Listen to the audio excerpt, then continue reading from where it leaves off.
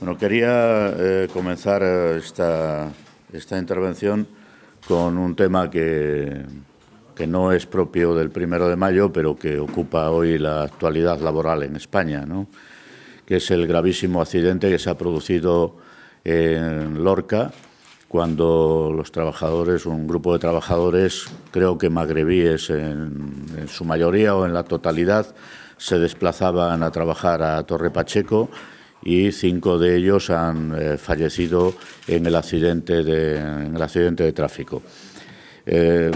a estas horas eh, desconocemos las circunstancias en que se ha producido, las condiciones en las que operaban, bueno, la precariedad tanto en la contratación como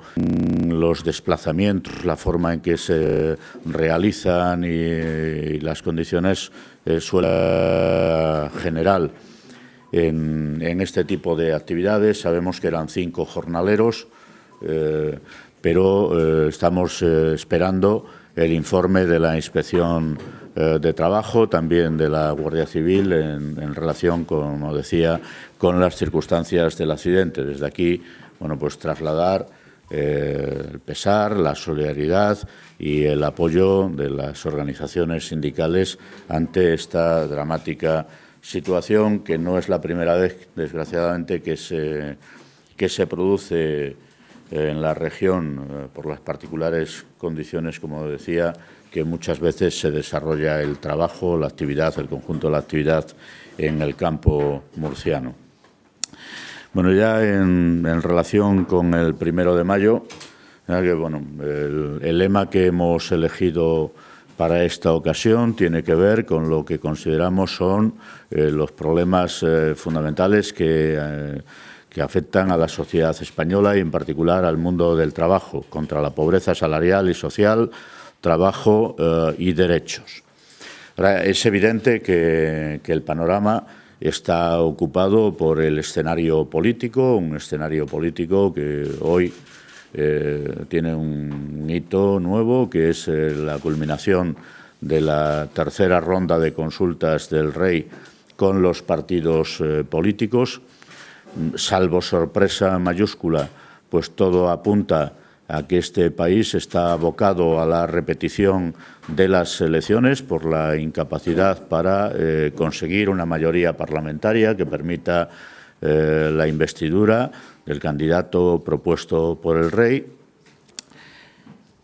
y eh, en un marco de incertidumbre, incertidumbre a nivel internacional en cuanto a la evolución de la economía, que sin duda afecta a la situación en nuestro país, incertidumbre económica en España, eh, política y social. Decir, si finalmente se confirma ese escenario, que es el menos eh, deseable de los posibles de repetición de las eh, elecciones, pues con toda probabilidad nos situaremos eh, con un gobierno provisional en gran parte del año 2016. Eh, y por lo tanto con un escenario de, de, parálisis en un momento que había que estar aprovechando para eh, tratar de consolidar el cambio de ciclo económico, ahora sobre todo que las cifras ya no eh, reflejan un escenario de crecimiento tan intenso como el que conocimos en el año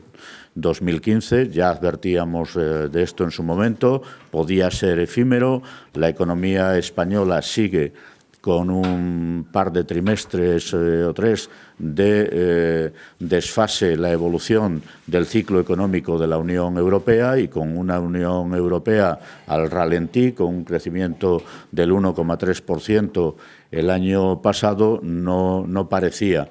que la eh, economía española pudiera sostener un ritmo del crecimiento por encima del 3% eh, si esto no se modificaba, si este escenario no se modificaba. Incertidumbre económica, como decía, que exigiría adoptar eh, medidas, luego comentaré alguna cosa en relación con, con esto.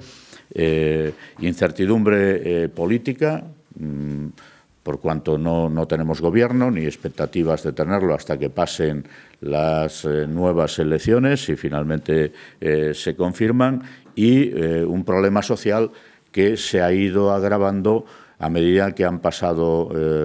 los años de gestión de la crisis y que en estos momentos se exigiría de disposición política para un cambio de rumbo importante. Nosotros en, su momento, ambos sindicatos, apostamos, emitimos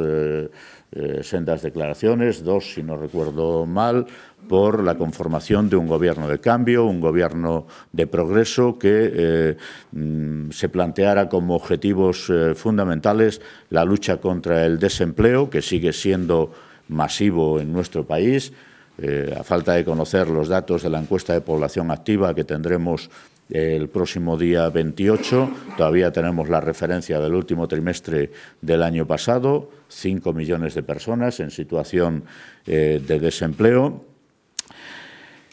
crecimiento de la pobreza de forma muy importante, tanto en el ámbito laboral, porque ya eh, tener un empleo desde hace un tiempo no es garantía de salir de la pobreza en España, y crecimiento eh, muy importante de las eh, desigualdades. Un gobierno, por lo tanto, que tratase de alinear la economía con las necesidades sociales y las necesidades de la ciudadanía que pusiese como objetivos básicos la definición de un escenario para el impulso del crecimiento económico que tiene una premisa necesaria y esto tendrá que afrontarlo inevitablemente el nuevo gobierno, sea cuando sea, eh, que es la de la renegociación de las condiciones de eh, consolidación fiscal eh, con la Unión Europea. España no puede alcanzar los parámetros definidos en el plan presentado por el todavía Gobierno en funciones a Bruselas, eh, desconociendo además en qué condiciones está planteando la renovación del plan del programa nacional de, reformas. Ha habido una reunión hace un par de, no, ayer mismo, una reunión con la oficina de Moncloa, pero sin papeles, eh, sin anticipo de los grandes eh, objetivos. Mucho nos tememos que el Gobierno sigue apostando por una línea de consolidación fiscal que lastra el crecimiento en nuestro país y que dificulta y mucho la sostenibilidad del modelo, eh, social. Por lo tanto, se impone una renegociación de las condiciones, como decía, para la consolidación fiscal en nuestro país, de manera que en un escenario más flexible, con más tiempo, al menos un par de años, España pueda afrontar el eh, desafío del crecimiento, crecimiento con empleo, con empleo de calidad y el sostenimiento del modelo social. Y, por lo tanto, la lucha contra el desempleo masivo, la lucha contra la pobreza y la lucha contra las eh, desigualdades eh, crecientes. En esa línea, seguimos pensando que para animar el mercado de trabajo, para modificar las condiciones tan precarias que se han consolidado en estos años en nuestro país de contratación, es necesaria la derogación de las reformas laborales del año 2010 y 2012. Este será un mensaje claro, nítido, de ambas organizaciones sindicales en las 76 eh, manifestaciones y concentraciones que se van a desarrollar a lo largo de la geografía española el primero eh, de mayo. Como lo es la lucha por la recuperación de los salarios, empezando por el salario mínimo interprofesional. Seguimos pensando que el salario mínimo interprofesional debería situarse en 800 euros en el primer año de la legislatura, ahora una legislatura que con toda probabilidad se iniciará con mucho eh, retraso que es eh, además eh, importante si tenemos en cuenta la situación a la que este Gobierno ha llevado a la seguridad social, que es otro de los desafíos que tiene por delante la sociedad española. Como ha dejado de manifiesto el desvío del déficit público, el agujero en materia de seguridad social empieza a ser considerable. Y antes de que un Gobierno tenga que enfrentar una reforma del sistema público de pensiones eh, en clave regresiva, sería eh, importante que este debate eh, calase en profundidad en los programas de los partidos políticos para ver cómo se consigue dotar a la seguridad social, empezando por un salario mínimo que referencie la base mínima de cotización de los ingresos necesarios para sostener la calidad del sistema público de pensiones. La lucha contra la pobreza no acaba en el ámbito laboral, aunque tiene un hito muy importante en el ámbito laboral, que es la recuperación del papel de la negociación colectiva. En la línea que apuntan convenios como el de la construcción, el Convenio General de la Construcción o el Convenio General del Metal recientemente eh, suscrito, eh, pero que necesitan también del apoyo de una derogación de, esos aspectos de la reforma laboral que dificultan la eh, calidad de la negociación colectiva en nuestro país. Y voy terminando la lucha eh, contra las desigualdades, sin olvidarse todo lo contrario de las profundas desigualdades de género, brecha salarial incluida, que se han generado con la gestión de la crisis económica. El impulso de planes de igualdad es un reto, un desafío eh, para, el próximo, eh, para el próximo periodo. Y, finalmente, la recuperación de la calidad democrática perdida por nuestro país, en particular en lo que tiene que ver con el derecho de huelga,